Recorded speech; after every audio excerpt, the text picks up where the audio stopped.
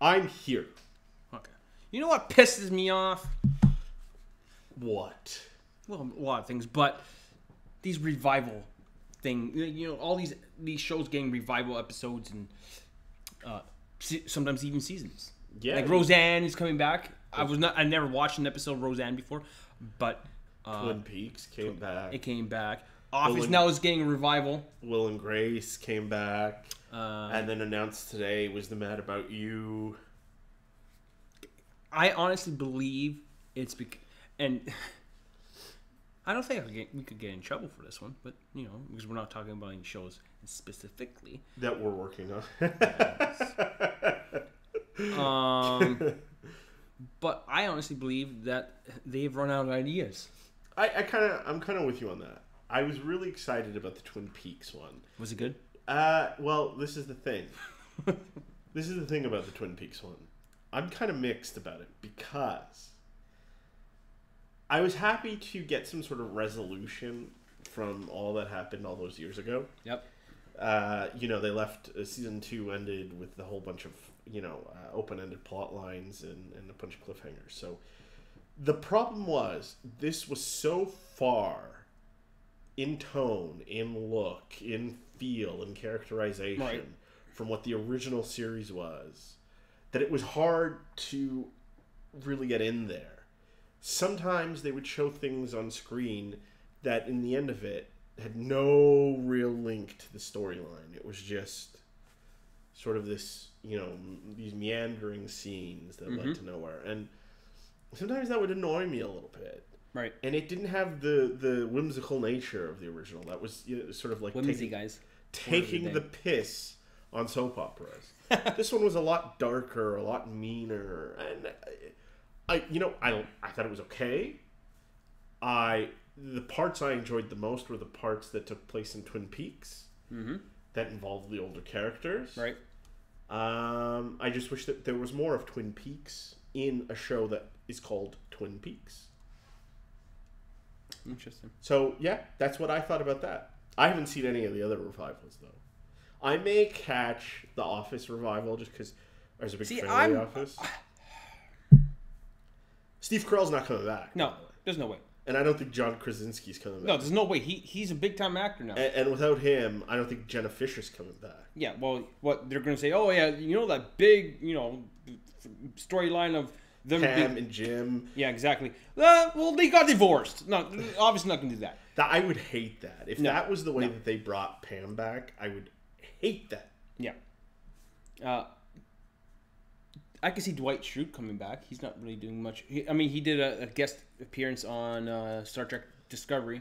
He was on that for. I think he's directed some stuff and he's acted in some small independent stuff.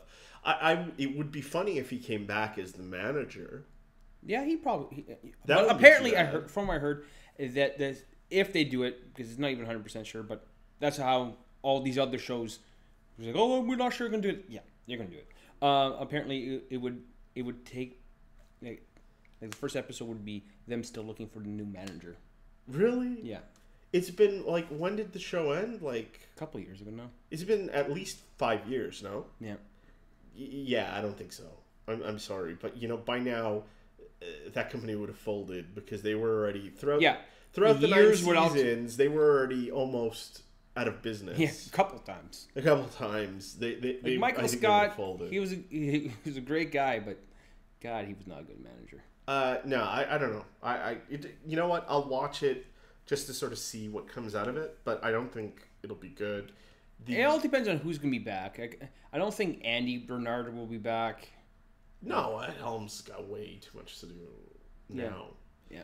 It just the first Oscar, one the was, guy who played Oscar, he's he's got People of Earth now. the American series was like magic caught, you know, in a what's the what's the saying? Captured in a bowl or in, or in a cup or I, Yeah. I don't know. Uh, this this isn't going to be that. I don't think. Maybe Toby will be back. No, God, please, no, How about Roseanne? You have anything about Roseanne? no. I have nothing about Roseanne. But I, I today I was looking at some like I was just bored on YouTube, and then it, and the reason why I bring this up and why it annoys me because I saw like you know um, was it top ten freaking? I don't even know why. Is it? I've, I've never watched top ten videos before, but I was so bored today. So I was top ten um, moments from TV shows that we grew up from, and there's a whole bunch of there was I think three the Office scenes in there, and it was like, oh shit, the Office might be coming back. Really? I watch. By the way, I watch those top ten shit all the time.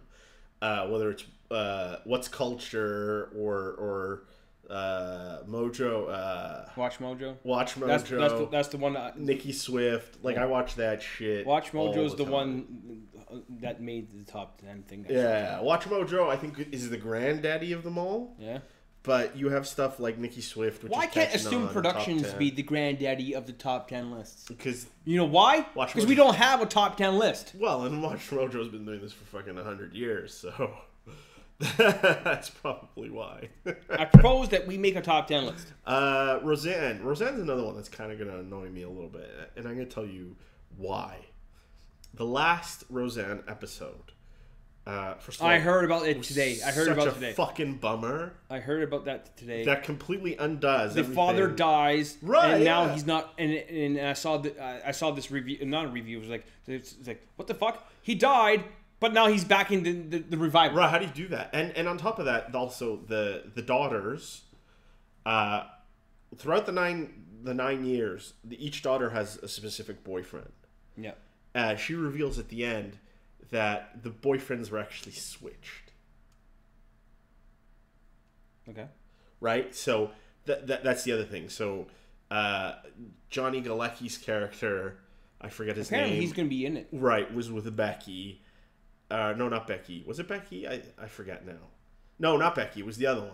Um, Sara Gilbert's character. They, they were dating in the show, and but really he was like in real life, according to the last episode, he was with Becky. And then the, the other thing was there were two Beckys. There are two actresses who played Becky off and on throughout the nine years. They're both going to be on the show. That's stupid. So I, I don't know. Look, I, I don't know How this, stupid. this Roseanne. I never watched. Roseanne. Never will watch Roseanne, but that just sounds stupid. But I don't even know how J- Johnny Galecki or uh, Yeah, considering he's on what Big Bang Theory. I don't like that show either. Though, I don't but- watch. I don't watch it, but apparently, gonna get hate apparently they're doing something right. Like what? else- I think season ten or eleven now. Uh, they're making. Uh, it's it's the same reason why Three and a Half Men was was so popular for so long. Considering even though it was a shitty show, I never what they've done with uh, a Big Bang is they tapped into that nerd culture Oh yeah. that's become super big over the last few years. Oh, it's okay to be a nerd. Ri- Right. Uh, So, you know, oh, everybody wants to be a nerd, and oh, let's make a show about these really I smart don't nerds want to be a nerd. who are like, well, uh, let's let's make a show about these really smart nerds who are like socially inept, and that's what the show's about is about how how awkward and cringy they are in public. Right. Ha, ha. I think I probably watched one and a half episodes of Big Bang Theory, and that was because I was on a flight and had nothing else to fucking watch. I saw one on the flight as well. It was a Valentine's Day episode where where uh, uh, Sheldon is doing some sort of podcast with his girlfriend. Oh yeah, Ha Uh, ha. I watched another episode, well, episode and a half, and one of them actually he was doing that same podcast. It was not a Valentine's Day episode, but if if it was, what was it? It had something to do with flags. I don't know. Whatever. Yeah, that's part of the Valentine's Day episode. No, I, I, apparently that's a running gag. Oh, okay. Well, ha ha ha. Flags. Ha, so funny. What, what, what's so good about flags? Like really? But apparently nerds eat that shit up with a fucking spoon. Hey, listen.